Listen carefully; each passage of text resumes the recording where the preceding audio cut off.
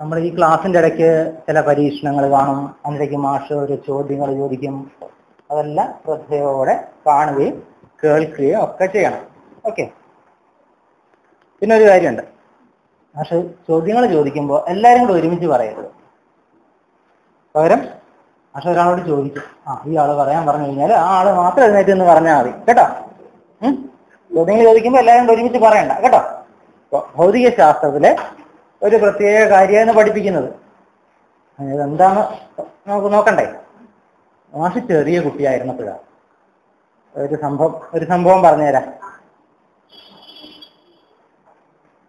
പണ്ടൊക്കെ കാലത്ത് പൈപ്പിൽ കൂടെ ഉള്ള വെള്ളം ഇല്ല. വെള്ളമാണെങ്കിൽ ആ കിണറ്റിൽ നിന്ന് തൊട്ടി വെച്ച് കോരിയെടുക്കാം അങ്ങനെ തൊട്ടി വെച്ച് കോരി എടുക്കുമ്പോൾ അങ്ങനെ ഒരു ദിവസം അങ്ങനെ കോരി എടുത്തു കഴിഞ്ഞപ്പോൾ അതിന്റെ മുകളിൽ കൂടി ഇങ്ങനെ ചെറിയ പ്രാണികൾ ഓടി ഓടി നടക്കുന്നു. നിങ്ങൾ കണ്ടിട്ടുണ്ടോ? അങ്ങനെ വെള്ളത്തിന്റെ മുകളിൽ കൂടി ഇങ്ങനെ പാറി നടക്കുന്ന കൊച്ചു കൊച്ചു പ്രാണികളെ. അതിനെന്താ വിളിക്കുക നിങ്ങൾ? എഴുത്തച്ഛൻ വിളിക്കും. അതെ. ആ നമ്മുടെ നാട്ടിൽ വെള്ളത്തിലാശാൻ എന്നാ വിളിക്കുന്നത്? ആ എഴുത്തച്ഛൻ വെള്ളത്തിലാശൻ അങ്ങനെയൊക്കെ വിളിക്കും അല്ലേ? ഇപ്പോഴാണെങ്കിലും ചെറിയ പിന്നെ ചെറിയ അരുവികളുടെ അടുത്ത് അല്ലെങ്കിൽ പിന്നെ വെള്ളം കെട്ടിക്കിടക്കുന്ന കുളത്തിന്റെ ഒക്കെ അടുത്ത് അങ്ങനെ പോയിട്ട് അങ്ങനെ നോക്കി നിന്നാൽ കാണാം. ചെറിയ പ്രാണികൾ ഇങ്ങനെ ഇങ്ങനെ ഓടി ഓടി നടക്കുന്നതാണ് കണ്ടാ തോന്നും അതെന്തോ വെള്ളത്തിന് മുകളിൽ എന്തോ എഴുതുകയാണെന്ന് തോന്നും അതുകൊണ്ടാണ് എഴുത്തച്ഛൻ എന്ന് വിളിക്കുന്നത് അപ്പോ മാഷ് എന്താ ചെയ്തതെന്ന് അറിയാമോ ഇത് വെള്ളത്തിൽ കൂടെ എന്റെ മുകളിൽ ഇങ്ങനെ പാറി കളിക്കുന്ന കാണാൻ നല്ല ഭംഗിയുണ്ട് നല്ല രസമുണ്ട്. ഒരു കുസൃതി ചെയ്തു. പക്ഷെ തെറ്റായി പോയി. എന്താ ചെയ്തത്? കുറച്ച് സോപ്പ് കൂടി എടുത്തിട്ട് ഈ വെള്ളത്തിലേക്ക് ഇട്ടു. നോക്കട്ടെ സോപ്പിന്റെ സോപ്പ് വെള്ളത്തിന്റെ മുകളിലും ഇവൻ ഇങ്ങനെ പാറി കളിക്കുമോ എന്ന് അറിയാൻ വേണ്ടിയിട്ടാണ് ചെയ്ത് നോക്കിയത്. പക്ഷേ ഈ വെള്ളത്തിലാക്കാൻ എഴുത്തച്ഛനെ ഈ വെള്ളത്തിലോട്ട് അങ്ങ് താന്നു പോയി. അതുവരെ നല്ല സ്മാർട്ടായിട്ട് ഓടി കളിച്ചിരുന്ന പാർട്ടിയാണ് അതങ്ങ് താന്നു പോയി. അത് കണ്ടപ്പം വിഷമം തോന്നി. ചെയ്തത് തെറ്റായി പോയി തോന്നുകയും ചെയ്തു. അതിൽ വലിച്ചു പൊന്തിച്ചെടുക്കാൻ നോക്കി. പക്ഷെ അത് ചത്തുപോയി കേട്ടോ. അപ്പോളേ ഇന്നത്തെ ഈ ക്ലാസ് കഴിയുന്നിടം നിങ്ങൾക്ക് മനസ്സിലാവും. ഇങ്ങനെ നല്ല സ്മാർട്ടായിട്ട് ഓടി നടന്നിരുന്ന ഈ ചെറുപ്രാണികൾ ഏതാണെങ്കിലും വെള്ളത്തിലാക്കാൻ. അല്ലെങ്കിൽ എഴുത്തച്ഛൻ എന്ന് വിളിക്കുന്ന ഈ പ്രാണി എന്തുകൊണ്ടാണ് സോപ്പിന്റെ വെള്ളത്തിൽ താന്നു പോയത് എന്താണെന്ന് മനസ്സിലാവും. നിങ്ങൾക്ക് ഇപ്പൊ അതിന്റെ കാരണം എന്താന്ന് പറയാൻ പറ്റുമോ ആർക്കെങ്കിലും അറിയാമെങ്കിൽ കൈ ഉയർത്താം. ഇല്ല ആർക്കും അറിഞ്ഞൂടാ അല്ലെ? ക്ലാസ് കഴിയുമ്പോൾ എല്ലാവർക്കും മനസ്സിലാവും. വെള്ളത്തിൽ എന്തുകൊണ്ടാണ് ഇത്തരം പ്രാണികൾ ആ വളരെ ഉഷാറായിട്ട് ഇങ്ങനെ പാറി കളിക്കുന്നതും മനസ്സിലാവും. എന്തുകൊണ്ടാണ് സോപ്പിന്റെ വെള്ളത്തിൽ ഇത് താന്നു പോകുന്നതെന്നും മനസ്സിലാവും. കേട്ടോ? ഇപ്പോ ഭൗതിക ശാസ്ത്രത്തിലെ പ്രതല ബലം എന്ന ഒരു ടോപ്പിക്കാണ് നമ്മൾ എടുക്കാൻ പോകുന്നത്.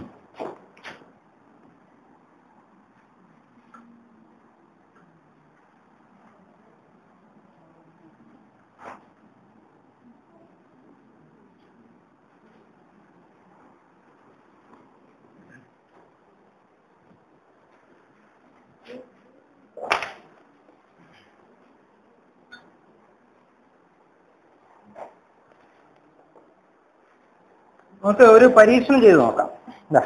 ഈ ബീക്കറിൽ നിറയെ വെള്ളമുണ്ട് അല്ലേ?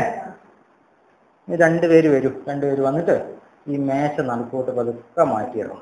വരും. ആ ഇതല്ലോ ആ അമോനു വാ. എന്താ എന്താ പേര്? ആ എന്നാ വേണ്ട നീ വാ. സൂക്ഷിച്ചെടുക്കണം. താഴെ വീഴാതെ നോക്കണേ.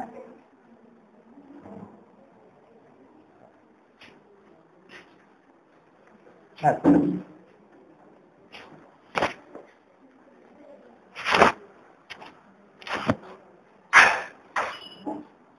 അപ്പൊ ഈ ബീക്കറിലെ ജലത്തിൽ ഞാനൊരു ബ്ലേഡ് ഇട്ട് നോക്കുക.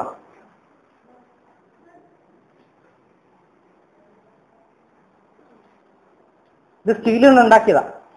ഇരുമ്പാണ് ഇരുമ്പ്. ഇരുമ്പ് വെള്ളത്തിൽ താന്ന് കിടക്കോ പൊങ്ങിക്കിടക്കോ പൊങ്ങിക്കിടക്കും അല്ലേ? അങ്ങനെയാ. ഒന്നൊക്കെ നോക്കാം. ചില ആൾക്കാർ പറയുന്നു ഭാരം കൂടിയത് അല്ലെങ്കിൽ സാന്ദ്രത കൂടിയത് വെള്ളത്തിന് പൊങ്ങിക്കിടക്കുന്ന ചില ആൾക്കാർ പറയും. നോ- നോക്കാം. എന്താ പറ്റിയ? തന്നുപോയി അല്ലേ?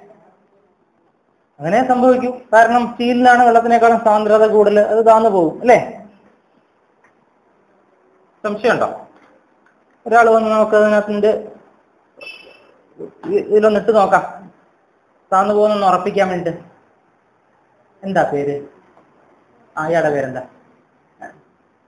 സ്വപ്ന. സ്വപ്ന വരൂ.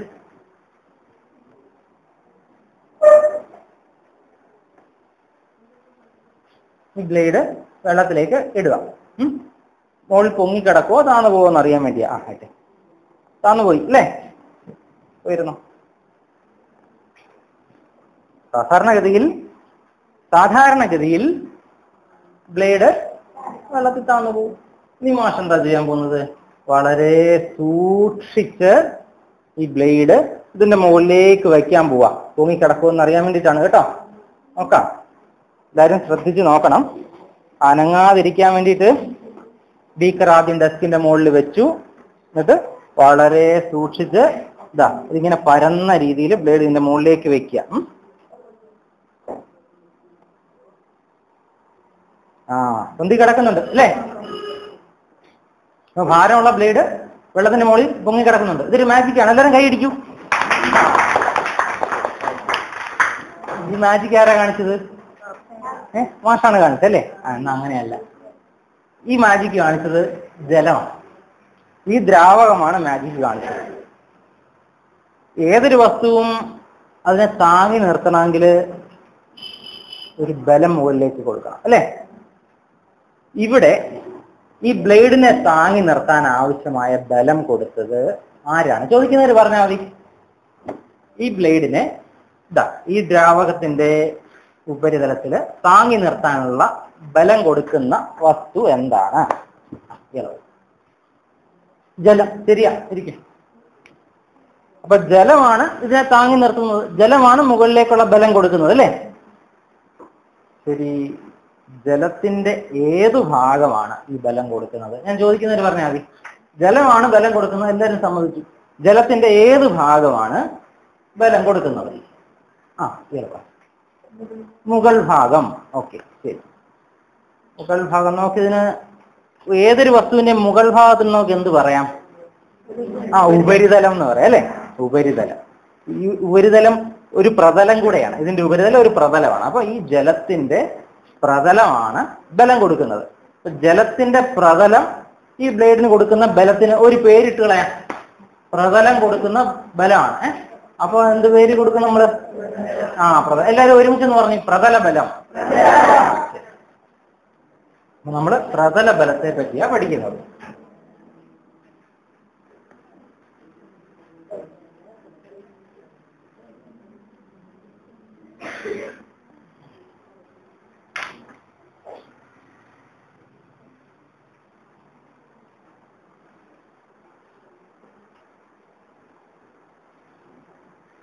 ദാ ഇപ്പോഴും ഇതിന്റെ മുകളിൽ ഇങ്ങനെ തുള്ളി കളിക്കുന്ന തുള്ളി കളിക്കുന്ന കണ്ടില്ലേ? എഴുത്തച്ഛനെ പോലെ അല്ലെങ്കിൽ വെള്ളത്തിലാക്കാനെ പോലെയൊക്കെ ഈ ബ്ലേഡും ജലത്തിന്റെ മുകളിൽ കളിക്കുക. ഒരല്പം ഒന്ന് തട്ടി നോക്കാം. താന്നുപോയി അല്ലേ? ശരി. ഇതുവരെ ഇതുവരെ ഈ ബ്ലേഡ് ജലത്തിന്റെ ഉപരിതലത്തിലാണ് കിടന്നിരുന്നത് അല്ലേ? അപ്പൊ ഈ ബലം അനുഭവപ്പെടുന്നത് ഉപരിതലത്തിലാണ് നിങ്ങൾ പറഞ്ഞു അല്ലെ? ദ്രാവകത്തിന്റെ സ്വതന്ത്രമായ ഉപരിതലത്തിലാണ് ഈ ബലം അനുഭവപ്പെടുന്നത് പ്രതല ബലം അനുഭവപ്പെടുന്നത്.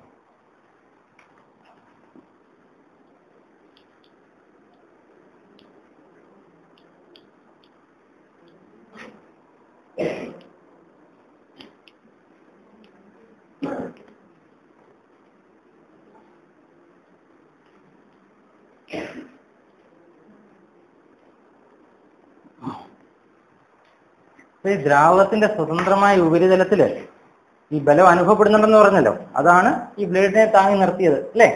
ഇത് എങ്ങനെ ഇരിക്കും എന്നറിയാമോ ഒരു റബ്ബറിന്റെ പാട വലിച്ചു നിർത്തി എങ്ങനെ ഇരിക്കും? ഇതേ മാതിരിയാണ് ജലത്തിന്റെ ഉപരിതലം ഉണ്ടാവുക. ബലൂൺ ഉണ്ടല്ലോ ബലൂണിന്റെ ഒക്കെ ബലൂണിന്റെ റബ്ബർ റബ്ബർ പാടയല്ലേ ശരിക്കും പറഞ്ഞാൽ? അപ്പൊ ഇത് അങ്ങോട്ട് വലിച്ചു നിർത്തി എന്താ ഇതാ ഇത് കണ്ടോ? കണ്ടോ? പൊട്ടി അല്ലേ? അത്ര ബലം വേണ്ടിയിരുന്നില്ല. അതാ ഇപ്പോഴോ? ഇതാ ഇങ്ങനെ ഇരിക്കും. കണ്ടോ? ഇതുപോലെ ഇരിക്കും എന്ത്? ജലത്തിന്റെ ഉപരിതലം. ഇതുപോലെ ഇരിക്കും ജലത്തിന്റെ ഉപരിതലം. ഇതിന്റെ മുകളിലാണ് പ്രാണികളൊക്കെ പാറി കളിക്കുന്നത്.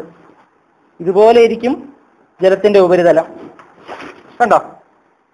ഇതിന്റെ മുകളിലാണ് നമ്മൾ ബ്ലേഡ് താങ്ങി നിർത്തിയത്. പിന്നെ നമ്മുടെ വലിഞ്ഞിങ്ങോട്ട് വരും അല്ലേ? ഇതുപോലെ തന്നെയാണ് ഈ ദ്രാവകത്തിന്റെയും കാര്യം. ദ്രാവകം ഒരു വലിച്ചു നിർത്തിയ റബ്ബറിന്റെ പാട പോലെയാണ്. ഈ റബ്ബറിന്റെ പാട പോലെയാണ് ദ്രാവകത്തിന്റെ പാട. അപ്പൊ ഈ ദ്രാവകത്തിന്റെ പാട നമുക്കൊരെണ്ണം ഉണ്ടാക്കാം. എന്നിട്ട് ദ്രാവകത്തിന്റെ പാട ഉണ്ടാക്കിയിട്ട് നടുക്കൊന്ന് കുത്തി നോക്കാം. കുത്തി നോക്കി കഴിയുന്ന ഉടനെ ഈ റബ്ബറിന്റെ പാട പൊട്ടുന്നത് പോലെ അതിനെന്ത് വ്യത്യാസമാണ് ഉണ്ടാവുന്നത്? ഇതാ നോക്കാൻ പോകുന്നത്. അപ്പൊ ദ്രാവകത്തിന്റെ പാട ഉണ്ടാക്കണമെങ്കിൽ എന്ത് ചെയ്യണം? അതിനുള്ള സംവിധാനം കൊണ്ടുവന്നിട്ടുണ്ട്.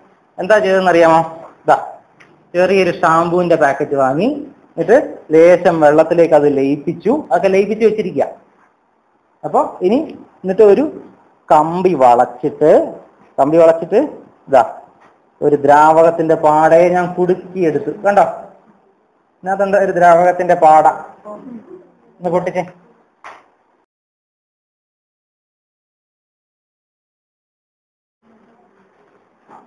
ഇത് നിങ്ങളുടെ അടുത്തേക്ക് കൊണ്ടുവരാം. ഈ ബീക്കറിൽ കണ്ടോ? രണ്ട് നൂൽക്കണ്ണി കിടക്കുന്ന കണ്ടോ? എന്നിട്ട് ഈ ദ്രാവക പാടയുടെ പുറത്തേക്ക് ഈ നൂൽക്കണ്ണിയെ വെക്കും. കണ്ടോ? ഇത് വെക്കും. ഇപ്പൊ വെക്കാൻ പോണേ ഉള്ളൂ. നിങ്ങളെ പരിചയപ്പെടുത്തിയെന്ന് മാത്രമേ ഉള്ളൂ. കേട്ടോ? പൊട്ടി. അത് വീണ്ടും ഉണ്ടാക്കാം നമുക്ക്. കണ്ടോ? ഇതിലൊരു ദ്രാവക പാട നമുക്ക് ഇതിൽ ഈ വളയത്തിൽ ഉണ്ടാക്കാൻ പറ്റും. അതിന്റെ പുറത്തേക്ക് ഈ നൂൽക്കണ്ണി ഇപ്പൊ വെക്കാൻ പോവാ? ഇതിന്റെ ഉള്ളിൽ ഒരു ദ്രാവകത്തിന്റെ പാടയുണ്ട്. നൂൽക്കണ്ണിയും ഉണ്ട് താഴെ? ഇതുകൊണ്ടൊരു ദ്രാവകത്തിന്റെ പാട ഉണ്ടാക്കാം. നൂൽക്കണ്ണി ഉണ്ടാക്കാം നൂൽക്കണ്ണി താഴെയുണ്ട്. കണ്ടോ? ഇതുകൊണ്ട് ഒരു ദ്രാവകത്തിന്റെ പാട ഉണ്ടാക്കാം. കണ്ടോ? താഴെ നൂൽക്കണ്ണി കണ്ടില്ലേ? ഈ പരീക്ഷണം നന്നാവണമെങ്കിൽ ഫാൻ അങ്ങോട്ട് ഓഫ് ചെയ്യണം. ഈ ഫാൻ ഓഫ് ചെയ്യൂ.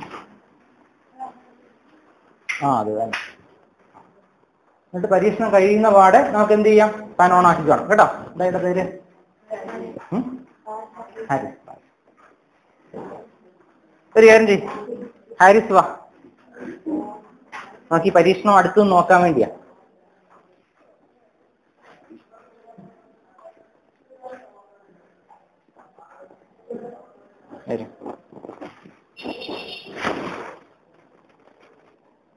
ഈ വളയത്തിനകത്ത് എന്തുണ്ട്? ഒരു ദ്രാവകത്തിന്റെ പാടയുണ്ട് അല്ലെ? ജലത്തിന്റെ പാടയുണ്ട് അല്ലെ? എന്നിട്ട് നമ്മൾ വളരെ സൂക്ഷിച്ചിട്ട് ഒരു നൂൽക്കണ്ണി അതിന്റെ മുകളിലേക്ക് വെക്കാൻ പോവാ.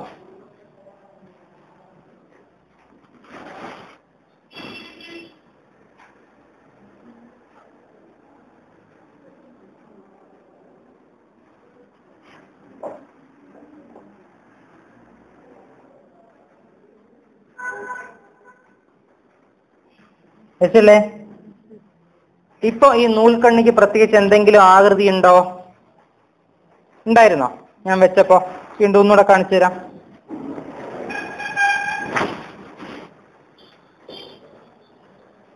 ദ്രാവകത്തിന്റെ പാട എടുത്തു. അതിന്റെ മുകളിലേക്ക് ഈ നൂൽക്കണ്ണി അങ്ങോട്ട് വെച്ചു കൊടുത്തു. എന്തെങ്കിലും ആകൃതി പ്രത്യേക എന്തെങ്കിലും ആകൃതി ഉണ്ടോ? എങ്ങനെയോ വളഞ്ഞു വളഞ്ഞു കിടക്കുക അല്ലേ? ഇനി നമ്മൾ എന്ത് ചെയ്യും? ഇതിന്റെ ഉള്ളിൽ കുത്തും.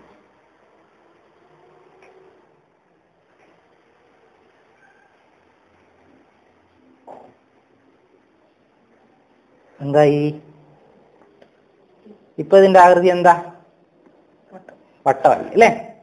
ശരി. എന്താ കണ്ടതെന്ന് ഹാരിസ് ഇവരോട് പറഞ്ഞു കൊടുക്കണം. തുടക്കം ഞാൻ പറഞ്ഞുതരാം. മാഷ് എന്ത് ചെയ്തു? ഇതാ. ഇങ്ങനെ കമ്പി വളച്ചിട്ട് ഒരു വളയം ഉണ്ടാക്കി? വളയത്തിനകത്ത് പിന്നെന്താ ചെയ്തത്? നൂൽക്കണ്ണി എന്ത് ചെയ്തു? ആ എല്ലാം പറഞ്ഞു ഉറക്കെ പറഞ്ഞു കൊടുക്കും. ആ ഒരു പേപ്പർ ഒരു സൂചി പോലെ ആക്കിയിട്ട് അതിന്റെ നടുവിൽ കുത്തി. ആ. അപ്പൊ ആ നൂൽക്കണ്ണിയുടെ ആകൃതി എന്തായി മാറി? വട്ടമായി മാറി. ശരി പോയിരുന്നു? ഹാരിസ് മാത്രമേ അടുത്തു നിന്ന് കണ്ടുള്ളൂ അല്ലേ? ഞാനത് ബോർഡിൽ കാണിച്ചു തരാം എങ്ങനെയാ സംഭവിച്ചതെന്ന് കാണിച്ചു തരാം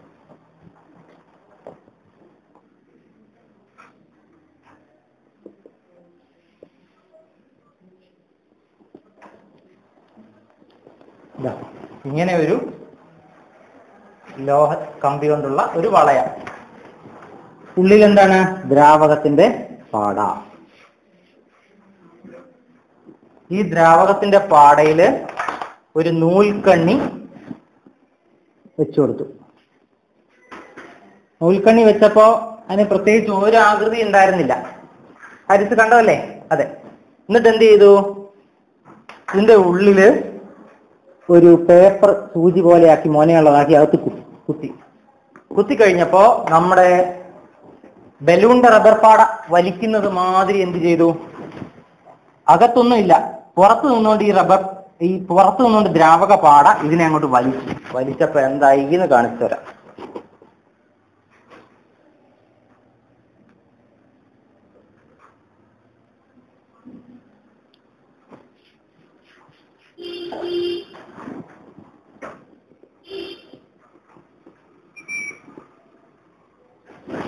ഒരാകൃതിയും ഇല്ലാതിരുന്ന നൂൽക്കണ്ണി ഇങ്ങനെ വൃത്താകൃതിയിലായി മാറി. കാരണം എന്താ? ഉള്ളിൽ ഉള്ളിലിപ്പോ പാടയില്ല അല്ലേ? ഉള്ളിൽ പാടയില്ല ഉള്ളിലെ പാട കുത്തി പൊട്ടിച്ചു. പുറത്ത് മാത്രമേ പാടയുള്ളൂ.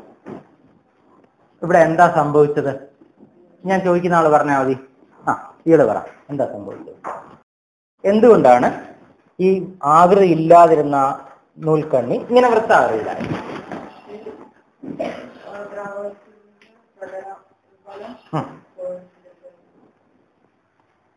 പ്രതലബലം ഇല്ലാത്തത് കൊണ്ടായിരിക്കും ഇല്ല പ്രതലബലത്തെ പറ്റി ഒന്നും പറയണ്ട. ഇവിടെ ഇവിടെ എന്തെങ്കിലും ഒരു ബലം ഏതെങ്കിലും ഭാഗത്തേക്ക് ഉണ്ടായോ? എന്ന് പറഞ്ഞാൽ ആർക്ക? ആ ആ. ആ. ആ അത് തന്നെ സൈഡിലുള്ള പാട അതിനെ അക- അകത്തേക്ക് വലിച്ചു അല്ലേ? സൈഡിൽ നിന്നുകൊണ്ട് ഈ നൂൽക്കണ്ണി എല്ലാ വശത്തേക്കും ഒരുപോലെ വലിക്കും അല്ലേ? ഒരു വലിവുണ്ടായി അല്ലേ? ആ വലിവ് കൊണ്ടല്ലേ ഇത് വൃത്താകൃതിയിലായത്? അതെ ഇരിക്കും. എന്തുകൊണ്ടാണ് ഇങ്ങനെ വലിക്കുന്നത് ചോദിച്ചാൽ ഈ ദ്രാവകം ഒരു റബ്ബറിന്റെ പാട പോലെയാണ് പ്രവർത്തിക്കുന്നത്. അതിന്റെ ആഗ്രഹം എപ്പോഴും പ്രതല വിസ്തീർണം ചുരുക്കണം ചുരുക്കണം. പ്രതല വിസ്തീർണം എന്ന് പറഞ്ഞാൽ എന്താ? ആ അതിന്റെ പുറത്തുള്ള പരപ്പ് അല്ലേ? അത് കഴിയുന്നതും ചുരുക്കണം ചുരുക്കണം എന്നാണ് എല്ലാ ദ്രാവകത്തിന്റെയും ആഗ്രഹം. അപ്പൊ ഈ പ്രതല ബലത്തിന്റെ ആഗ്രഹം എന്താ? പ്രതല വിസ്തീർണം ചുരുക്കണം. അങ്ങനെ പ്രതല വിസ്തീർണം ചുരുക്കുന്നതിന് വേണ്ടിയിട്ടാണ് ഇതിനെ അങ്ങോട്ട് വലിച്ചത്. മനസ്സിലായോ? അപ്പൊ പ്രതല ബലത്തിന്റെ ഇപ്പൊ രണ്ടാമത്തെ ഒരു ഗുണം മനസ്സിലായല്ലോ? അതെപ്പോഴും എന്ത് ചെയ്യാൻ ശ്രമിക്കുന്നു? ആ പ്രതല വിസ്തീർണം ചുരുക്കാൻ ശ്രമിക്കുന്നു. അതുകൊണ്ട് എപ്പോഴും വലിഞ്ഞു വലിഞ്ഞു വലിഞ്ഞ് ഇരിക്കാൻ ശ്രമിക്കുക പ്രതല വിസ്തീർണം ചുരുക്കാൻ ശ്രമിക്കും. എഴുതി വയ്ക്കാം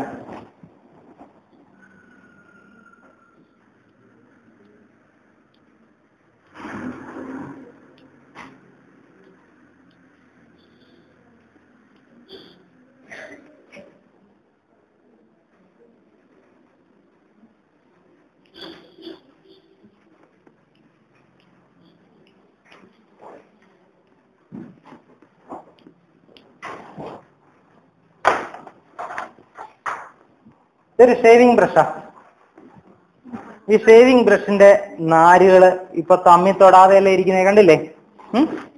ഷേവിംഗ് ബ്രഷിന്റെ നാരുകൾ. കണ്ടില്ലേ? ഷേവിംഗ് ബ്രഷിന്റെ നാരുകൾ എങ്ങനെയായിരിക്കുന്നത് കണ്ടില്ലേ? കണ്ടോ? ഇനി ഇത് വെള്ളത്തിൽ മുക്കി കഴിയുമ്പോ എങ്ങനെ ഇരിക്കുമെന്ന് പറഞ്ഞു തരണം. ഇതാ വെള്ളത്തിൽ മുക്കി. ചോദ്യം. ഇപ്പൊ ഷേവിംഗ് ബ്രഷിന്റെ നാരുകൾക്ക് എന്ത് വ്യത്യാസമാണ് ഉണ്ടായത്? പറയാം എല്ലാം കൂടെ ഒട്ടിപ്പിടിച്ചു. ശരിയാ. ഷേവിംഗ് ബ്രഷിന്റെ നാരുകൾ ജലത്തിൽ മുക്കിയപ്പോ ഒരു ദ്രാവകത്തിൽ മുക്കിയപ്പോ അതിന് നാരുകളെല്ലാം കൂടെ ഒട്ടിപ്പിടിച്ചു. ഇതിന്റെ കാരണം എന്താണെന്ന് അറിയാവുന്നവര് കയ്യർത്ത എന്തുകൊണ്ടാണ് ജലത്തിൽ മുക്കിയപ്പോ ഇതുവരെ നല്ല വിടർന്ന് നിൽക്കുകയായിരുന്നു. അപ്പോൾ അതെല്ലാം കൂടി ഇപ്പോൾ ഒട്ടിപ്പിടിച്ച് നിൽക്കുന്നു. ഇതിന്റെ കാരണം എന്താണെന്ന് പറഞ്ഞുതരണം.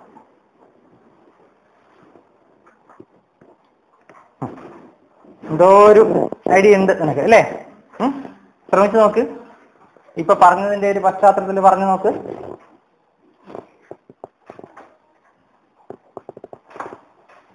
ഇല്ല.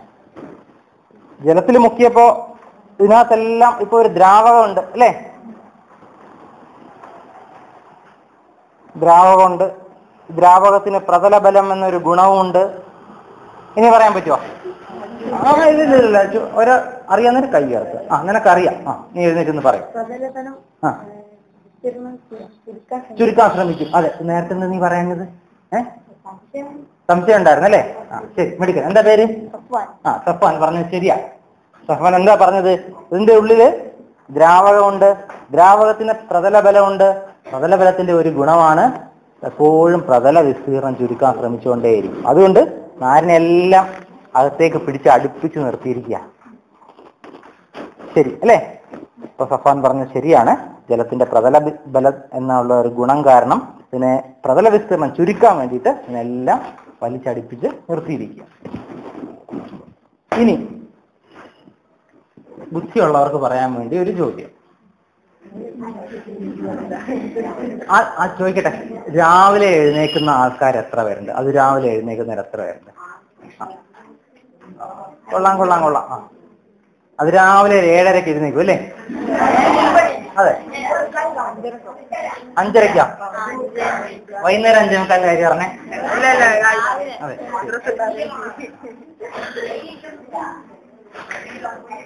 അപ്പോ രാവിലെ അത് രാവിലെ എഴുന്നേറ്റിട്ട് നമ്മുടെ തൊടിയിലൊക്കെ ഒന്ന് പോയി നോക്കുകയാണെന്നുണ്ടെങ്കിൽ ഇലയുടെ മുകളിലൊക്കെ ഒരു കൊച്ചു കൊച്ചു സൂര്യൻ ഇരിക്കുന്നത് കാണാം. ആ മഞ്ഞുതുള്ളികളെ മഞ്ഞുതുള്ളികൾ അതിന്റെ മുകളിൽ ഇങ്ങനെ ഇരിക്കും അല്ലെ? മഞ്ഞുതുള്ളികൾ ഇരിക്കും അതിൽ നോക്കിക്കഴിഞ്ഞാൽ അത് തിളങ്ങും സൂര്യപ്രകാശം തിളങ്ങുകയും ചെയ്യും. അതുകൊണ്ടാണ് പറഞ്ഞത് കൊച്ചു കൊച്ചു സൂര്യൻ എന്ന് പറഞ്ഞത്. ചോദ്യം. മഞ്ഞ് തുള്ളികൾ ഏത് ആകൃതിയിലാണ് ഇരിക്കുന്നത്? എല്ലാവരും കൂടെ പറയരുത്. മഞ്ഞുതുള്ളികൾ ഏത് ആകൃതിയിലാണ് സാധാരണ കാണപ്പെടുന്നത്? അറിയാവുന്നൊരു കൈ ഉയർത്തു. ഞാൻ ചോദിക്കട്ടെ. അറിയാതിരിക്കാൻ കാര്യമില്ലല്ലോ. അതിന്റെ അർത്ഥം രാവിലെ എഴുന്നേക്കുന്നില്ല എന്നാ. ഏതാകൃതിയിലായിരിക്കുന്നത് മഞ്ഞുള്ളികൾ ഏ? പ്രത്യേകിച്ച് ആകൃതി ഒന്നും ഇല്ലെന്നാ പറയുന്നേ. നിക്കണേ. വേറെ ചില ആൾക്കാരും കൂടെ ചോദിക്കട്ടെ. അതായത് പല ആകൃതിയിലുണ്ടല്ലോ ചിലപ്പോൾ പരന്നിരിക്കാം ത്രികോണത്തിന്റെ ആകൃതിയിലിരിക്കാം വേറെ വേറെ പല പല പല പല ആകൃതികളുണ്ട്. മഞ്ഞുതുള്ളി ഏത് ആകൃതിയിലായിരിക്കുന്നത്? ആ. സഫാൻ പറയുന്നത് വട്ടത്തിലാണെന്ന്.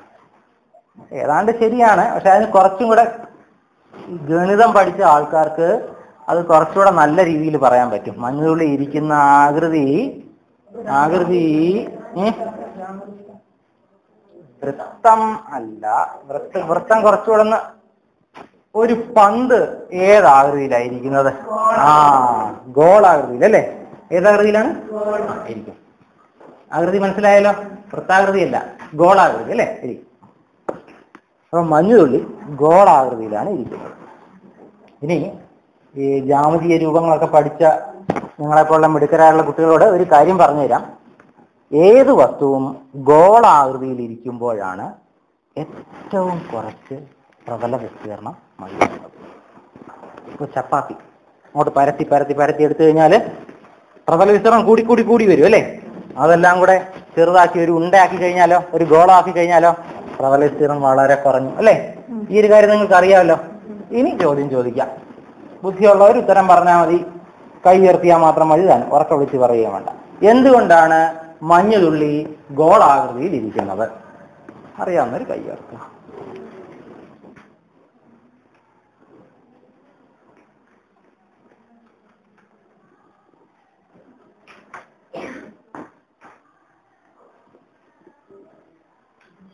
അറിയാവുന്നൊരു കൈ ഉയർത്തുക ആ, ഈ കൈ ഞാൻ അടുത്ത് വന്ന് ചെവിയിൽ വന്ന് കേട്ടോ. ആ, ആ നീ നീ പറ പറഞ്ഞിരിക്കുന്നുണ്ടല്ലേ ആ. ശരി നീ പറഞ്ഞ ശരിയാ. നോക്കട്ടെ വേറെ ആർക്കെങ്കിലും അറിയാമോ? വേറെ ആർക്കെങ്കിലും അറിയാമോ? എന്താ?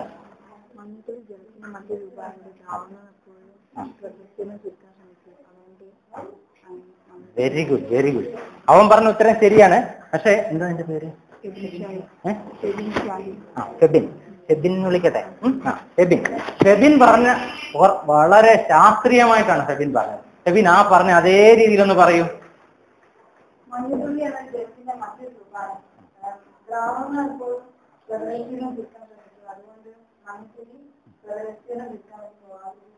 എക്സലന്റ് എക്സലന്റ് ഒന്ന് ഒന്ന് ഒന്ന് കൈയടിച്ചോട്ടെ ഫെബിൻ അപ്പൊ സയൻസ് പഠിക്കുന്ന കുട്ടികൾ ഇത്ര ശക്തമായിട്ടുള്ള രീതിയിൽ പറയാനും കൂടെ പഠിച്ചാൽ വളരെ നന്നായി. കേട്ടോ? നീ പറഞ്ഞത് ശരി തന്നെയാണ് പ്രദർശനം കുറയ്ക്കാൻ വേണ്ടി ആണ് തന്നെ കേട്ടോ? ശരി. അപ്പോ നമ്മൾ രണ്ട് ഗുണങ്ങൾ പഠിച്ചു. ദ്രാവകത്തിന്റെ സ്വതന്ത്രമായ ഉപരിതലത്തിലാണ് പ്രതലബലം അനുഭവപ്പെടുന്നത് എന്ന് പഠിച്ചു. പിന്നെന്ത് പഠിച്ചു? പ്രതല വിസ്തീർണം ചുരുക്കാൻ അത് എപ്പോഴും ശ്രമിച്ചുകൊണ്ടിരിക്കുമെന്ന് പഠിച്ചു. ഇനി മറ്റൊന്നുകൂടി പഠിക്കാനുണ്ട്. ഇത് ഏത് ദിശയിലാണ് അനുഭവപ്പെടുന്നത് എന്നാ ചോദ്യം. ഈ പ്രതല ബലം അനുഭവപ്പെടുന്നത് ഏത് ദിശയിലാണെന്നാണ് ചോദ്യം. ആർക്കെങ്കിലും അതിനൊരു മറുപടി പറയാമെങ്കിൽ കൈയർത്താം അറിയാവുന്നൊരു കൈയർത്താം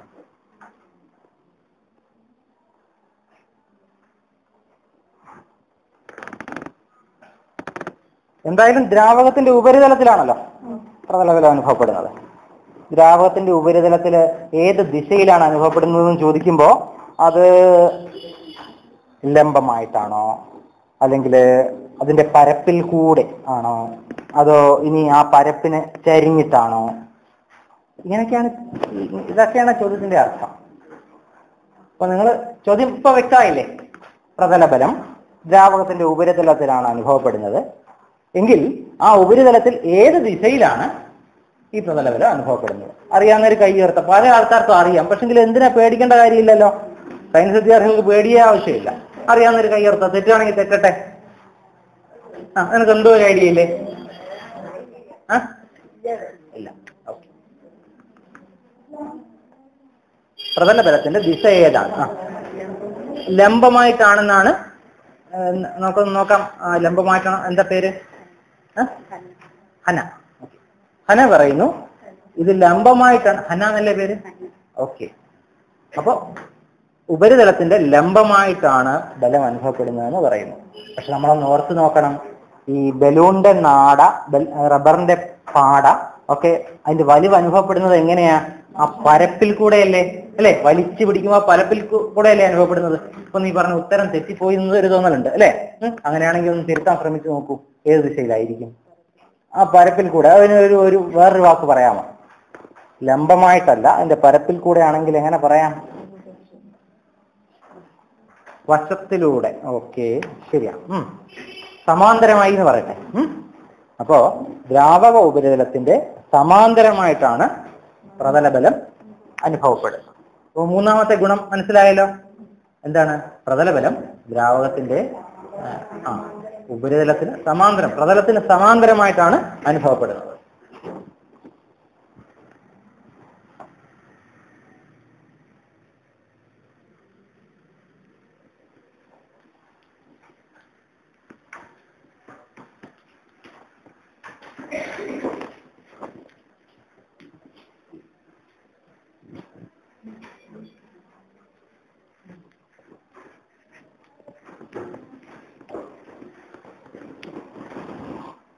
അങ്ങനെയാണെങ്കിൽ പ്രതലബലത്തിന്റെ മൂന്ന് ഗുണങ്ങൾ കണ്ടിട്ട് നമുക്കൊന്ന് പ്രതലബലത്തെ നിർവചിക്കാൻ ശ്രമിക്കാം. ദ്രാവകത്തിന്റെ സ്വതന്ത്രമായ ഉപരിതലത്തിൽ പ്രതല വിസ്തീർണം ചുരുക്കാൻ ശ്രമിക്കുന്ന പ്രതലത്തിന് സമാന്തരമായി അനുഭവപ്പെടുന്ന ബലമാണ് പ്രതലബലം. അല്ലേ? ഇപ്പൊ പ്രതലബലം എന്ന് പറഞ്ഞാൽ എന്താ? ഇത് നോക്കിയിട്ട് പറഞ്ഞാൽ മതി. എന്താണ് പ്രതലബലം? ഈ മൂന്ന് ഗുണങ്ങളും കൂടെ ചേർത്തിട്ട് വേണം പറയാൻ. പറയാം അല്ലേ? നമുക്ക് വേറെ ആളോട് ചോദിച്ചിട്ട് നിന്റെ അടുത്ത് തീർച്ചയായിട്ടും വരാം. നോക്കട്ടെ. ഈ ആൺകുട്ടികൾ കുറച്ചുപേര് ഇങ്ങനെ ഇരുന്നാ പോരല്ലോ. പറയാമോ? എഴുന്നേറ്റ്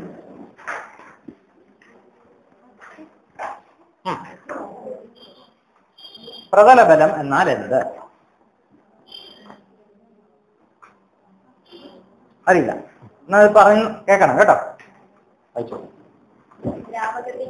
ദ്രാവകത്തിന്റെ സ്വതന്ത്രമായ ഉപരിതലത്തിൽ ആ. പ്രതല വിസ്തീർണം ചുരുക്കാൻ ശ്രമിക്കുന്ന ആ. പ്രതലത്തിന് സമാന്തരമായി അനുഭവപ്പെടുന്ന ബലമാണ് പ്രതലം. എന്താ പേര്? കേട്ടു അല്ലേ? നമുക്കൊരു ചാർട്ട് വായിച്ചു നോക്കാം. പ്രതലബലത്തിന്റെ നിർവചനം എഴുതിയ ചാർട്ട് വായിച്ചു നോക്കാം.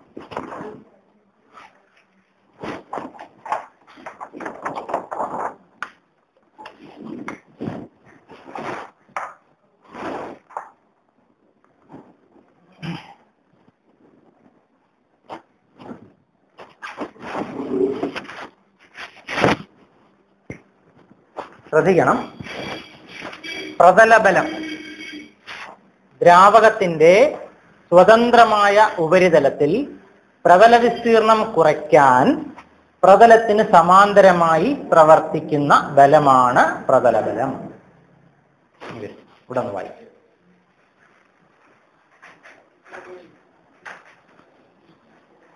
ഉറക്ക വായിക്കണം കേട്ടോ.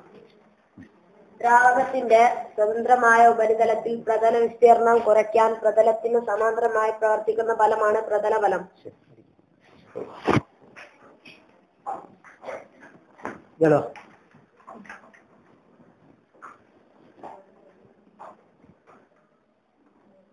ആദ്യം ഹെഡിങ്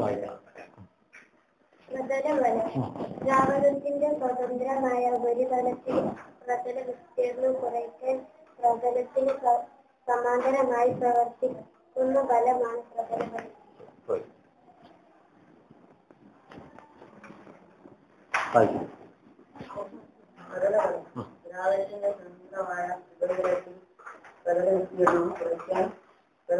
സമാന്തര സമാന്തരമായി പ്രവർത്തിക്കുന്ന ബലമാണ്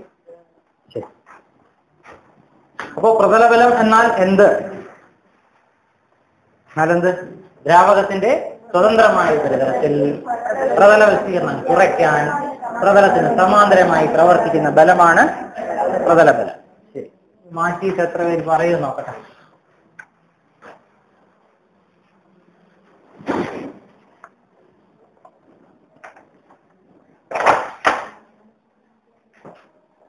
പ്രതലബലം എന്നാൽ എന്ത്?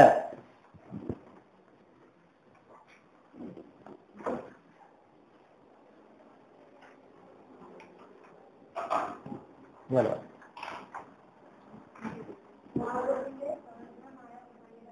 ഉം. ഉം. അല്ല പ്രതലത്തിന് സമാന്തരമായി പ്രവർത്തിക്കുന്ന ബലമാണ് ബലം പ്രതല ബലം ആ. ഉപരിതലത്തിൽ. പ്രതല വിസ്തീർണം കുറയ്ക്കാൻ ആ പ്രതലത്തിന് സമാന്തരമായി പ്രവർത്തിക്കുന്ന ബലമാണ് പ്രതലം.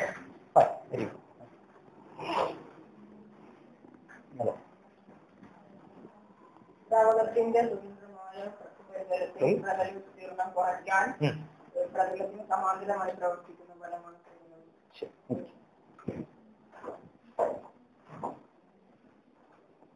ഇനി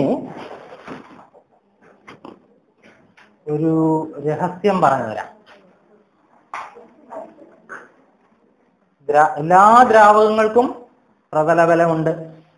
വലിച്ചു നിർത്തിയ പാട പോലെയാണ് എല്ലാ ദ്രാവകത്തിന്റെയും മുകൾ ഭാഗം അല്ലേ? കുറച്ച് സോപ്പ് പൊടിയോ കർപ്പൂരമോ ഒക്കെ ഉപയോഗിച്ചാൽ പ്രതലബലം കുറയും. ജലത്തിന്റെ പ്രതലബലം കുറയ്ക്കുന്ന വസ്തുക്കളാണ് സോപ്പ് പൊടി കർപ്പൂരം പർപ്പിന്റെ തരികൾ ഇതൊക്കെ. രഹസ്യം മനസ്സിലായല്ലോ? ഏഹ് രഹസ്യം പിടിയിട്ടില്ലേ ഇനി ചോദ്യം വരുന്നു. ഈ രഹസ്യം വേറെ ആരോടും പറയുകയും വേണ്ട കേട്ടോ. ഇനി ചോദ്യം. പഴയ ചോദ്യം. പഴയ ചോദ്യം വീണ്ടും ചോദിക്കാൻ പോവാ. അപ്പൊ ഉത്തരം അറിയാവുന്നവര് പുറത്തേക്ക് പറയണ്ട. അറിയാവുന്നവര് കൈ ഉയർത്തി എഴുന്നേറ്റ് നിന്നാ മതി. ഞാൻ അടുത്ത് വന്നിട്ട് ഉത്തരം കേട്ടോളാം. ചോദ്യം ഇതാ. എന്തുകൊണ്ടാണ് മാഷ് ചെറിയ കുട്ടിയായിരുന്നപ്പോ ഒരു എഴുത്തച്ഛനെ കൊന്നില്ലേ? ആ ഓടിക്കളിച്ചുകൊണ്ടിരുന്ന ആ എഴുത്തച്ഛൻ സോപ്പിന്റെ പൊടി ഇട്ടപ്പോ ജലത്തിൽ താന്നു പോയത് എന്തുകൊണ്ടാണ്? ഇതാണ് ചോദ്യം. ഉത്തരം അറിയാവുന്നവര് കൈ ഉയർത്തുക. വേറെ ആരോടും പറഞ്ഞു കൊടുക്കണ്ട. ഞാൻ വന്ന് കേട്ടു അറിയാം അല്ലേ? ഞാൻ വന്ന് കേട്ടോളാം. ആ.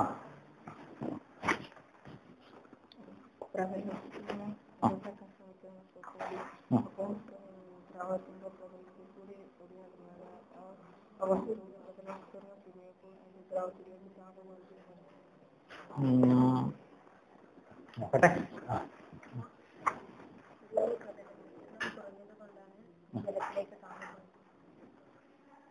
വിസ്തീർണം കുറഞ്ഞത് കൊണ്ടല്ല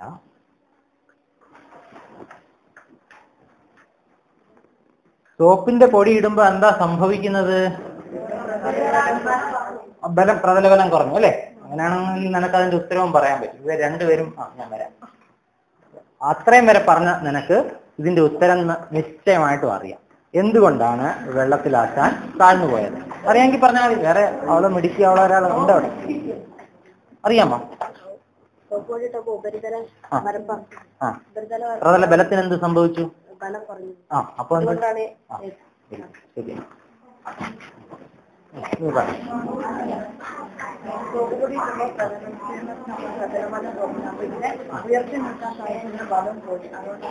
ഫൈൻ വെരി ഗുഡ് നിന്റെ പേരെന്താ?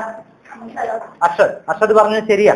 അവൻ പറഞ്ഞു പ്രതലബലം കുറഞ്ഞത് കൊണ്ടാണ് ഈ എഴുത്തച്ഛൻ താഴ്ന്നു പോയത് എന്ന് പറയാം. അവളത് കുറച്ചുകൂടെ നന്നാക്കി പറഞ്ഞു ഒന്ന് ഒന്ന് എഴുന്നേറ്റ് കൂടും ബലം കുറയും.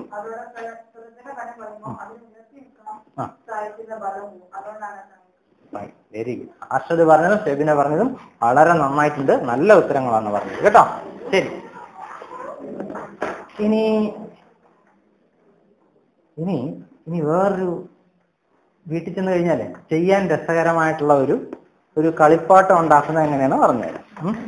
ചെറിയ കളിപ്പാട്ടം. ഒരു മുടക്കുമില്ല ഒരു ചെറിയ ബോട്ട് ഉണ്ടാക്കുന്ന അങ്ങനെയാണ് പറഞ്ഞുതരാൻ പോകുന്നത് പ്ലാസ്റ്റിക്കിന്റെ ടങ് ക്ലീനർ പലരുടെയും വീട്ടിലുണ്ടായിരിക്കില്ല. വില സ്റ്റീലിന്റെ ഉപയോഗിക്കുന്നെങ്കിലും പ്ലാസ്റ്റിക്കിന്റെ ടങ് ക്ലീനർ ഉണ്ട് എന്നുണ്ടെങ്കിൽ നിങ്ങൾ എന്ത് ചെയ്യണം? ആ ശീല ഇല്ലെന്നോ? എന്താ പറഞ്ഞേ?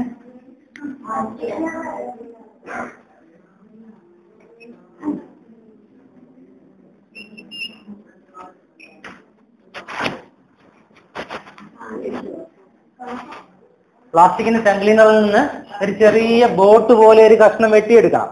ഓക്കെ? എന്നിട്ട് ഇത് ഒരു നല്ല പരപ്പുള്ള ഒരു പാത്രത്തിനകത്ത് ചരുവമൊക്കെ ഉണ്ടാവില്ല. വെള്ളമൊക്കെ പിടിച്ചു വെക്കുന്ന ചരുവത്തിന്റെ മുകളിൽ ഈ ചെറിയ ബോട്ടിനെ അങ്ങോട്ട് വെച്ചു കൊടുക്കണം. അത് വെള്ളത്തിൽ പൊങ്ങി കിടക്കും. പക്ഷെ ഓടി നടക്കുവോ? ഇല്ല. ഇനി ഓടി നടന്നാലല്ലേ ബോട്ടെന്ന് പറയാൻ പറ്റുള്ളൂ. അപ്പൊ ഈ ചെറിയ പ്ലാസ്റ്റിക് ബോട്ട് ഇങ്ങനെ എത്ര എണ്ണമാണെങ്കിലും ഉണ്ടാക്കാം. ഒരു തെങ്ങയിൽ നിന്ന് ഒരു ഏഴെട്ട് ബോട്ടിൽ ഉണ്ടാക്കാം. ഇതിന്റെ അറ്റത്ത് എന്ത് ചെയ്യണം? കുറച്ച് സർഫിന്റെ തരികൾ വെച്ച് കൊടുക്കാം. എവിടെ വെക്കണം? കണ്ടോ?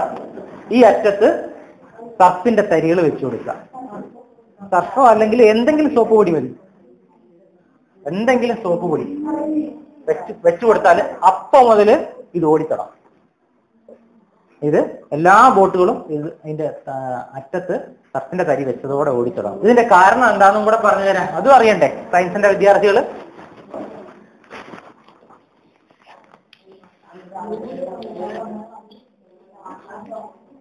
ദ്രാവകത്തിന്റെ ഉപരിതലത്തിലാണ് ഇത് വെച്ചത് അല്ലെ? ഈ ദ്രാവകത്തിന്റെ ഉപരിതലമോ റബ്ബറിന്റെ പാട പോലെ എല്ലാ വശത്തേക്കും വലിഞ്ഞായിരിക്കുന്നത്. സർഫിന്റെ തരികൾ ഇവിടെ വെച്ചതോടുകൂടി ഈ ഭാഗത്തുള്ള പ്രതലബലം കുറഞ്ഞു. അപ്പൊ ഈ ഭാഗത്തേക്കുള്ള ബലം കുറഞ്ഞു. ഈ ഭാഗത്തേക്കുള്ള വലിവ് കുറഞ്ഞു. ബാക്കിയുള്ള എല്ലാ ഭാഗത്തുനിന്നും ഇതിനെ വലിക്കുകയും ചെയ്യും. അതുകൊണ്ട് വലിക്കുന്ന ഭാഗത്തേക്ക് ബോട്ട് പോകും. ഏത് ഭാഗത്തേക്ക് പോകും? ഇങ്ങോട്ട് പോകുമോ അതോ ഈ വശത്തേക്ക് പോകുമോ? ആ മുകളിലേക്ക് പോകും. അതെ. ഈ ഭാഗത്ത് ബലം കുറവ് ഈ ഭാഗത്ത് ബലം കൂടുതൽ. ദ്രാവകത്തിന്റെ വലിവ് കൂടുതൽ. അതുകൊണ്ട് ബോട്ട് ആ ദിശയിലേക്ക് പോകും. മനസ്സിലായില്ലേ? ഇത് വീട്ടിൽ ചെയ്തു നോക്കാം അല്ലേ? ശരി ഇനി കുറച്ച് ചോദ്യങ്ങളും കൂടെ ചോദിക്കും. എന്നിട്ട് ഈ ക്ലാസ് തിരിയുള്ളൂ അപ്പൊ ഇതെല്ലാം അങ്ങോട്ട് മായ്ച്ചിട്ട് നമുക്ക് ഈ പ്രതല ബലത്തെ പറ്റിയുള്ള കുറച്ച് ചോദ്യങ്ങൾ മാഷ് ചോദിക്കും. അതിനൊക്കെ ഉത്തരം പറയണം.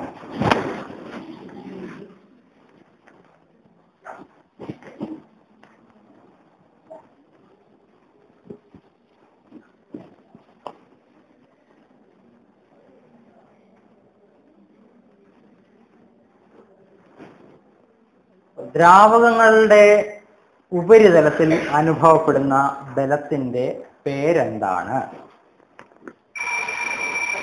പ്രതലബലം. പ്രതലബലം ദ്രാവകത്തിന്റെ പ്രതല വിസ്തീർണത്തെ ഏത് രീതിയിൽ സ്വാധീനിക്കുന്നു? ഏത് രീതിയിൽ പ്രതല വിസ്തീർണത്തെ അത് മാറ്റം വരുത്തുന്നു? അതാ ചോദ്യം. പ്രതല വിസ്തീർണം പ്രതല വിസ്തീർണം പ്രതല ബലം പ്രതല വിസ്തീർണത്തെ ഏത് രീതിയിൽ മാറ്റുന്നു? പ്രതല വിസ്തീർണത്തെ എന്താക്കാൻ ശ്രമിക്കുന്നു? ചുരുക്കാൻ ശ്രമിക്കുന്നു അഥവാ കുറയ്ക്കാൻ ശ്രമിക്കുന്നു അല്ലെ? ശരി ഇരിക്കും. ഇനി പ്രതല ബലത്തിന്റെ ദിശ ഏതാണ്.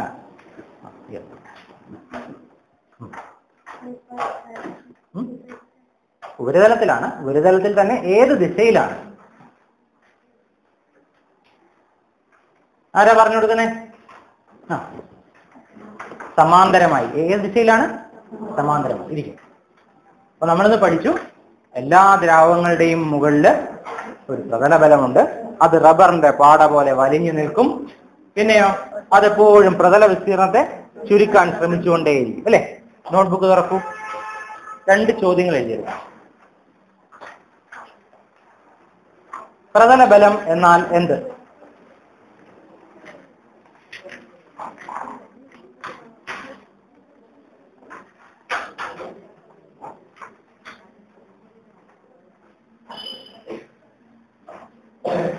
രണ്ട്. പ്ലാസ്റ്റിക് ടങ് ക്ലീനർ ഉപയോഗിച്ച്. പ്ലാസ്റ്റിക് ടങ് ക്ലീനർ ഉപയോഗിച്ച്. ഒരു ചെറു ബോട്ട് ഉണ്ടാക്കുക.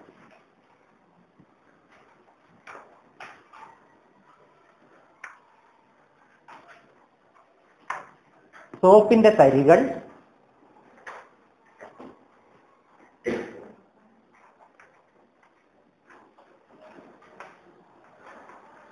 അതിന്റെ പുറകുവശത്ത് വെച്ച്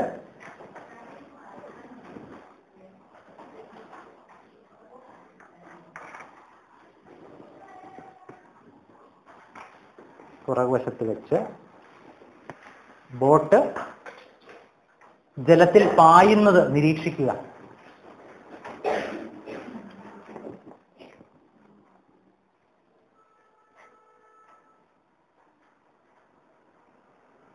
അപ്പൊ അത് നിരീക്ഷിക്കും അല്ലേ? ഇനി അടുത്ത പ്രാവശ്യം എഴുത്തച്ഛനെ നിങ്ങൾ കുറച്ചുകൂടെ കുറച്ചുകൂടെ ശ്രദ്ധയോടെ നോക്കും അല്ലേ? ജലത്തിന്റെ മുകളിൽ എങ്ങനെയാണ് ഇത് പാറി കളിക്കുന്നതെന്ന് നോക്കും. പക്ഷെ ഒരു കാര്യം മാത്രം ചെയ്യരുത്. ആ സോപ്പ് വഴി ഇട്ടതിനെ കൊല്ലരുത് കേട്ടോ? എല്ലാവർക്കും ക്ലാസ് ഇഷ്ടപ്പെട്ടോ? ശരി.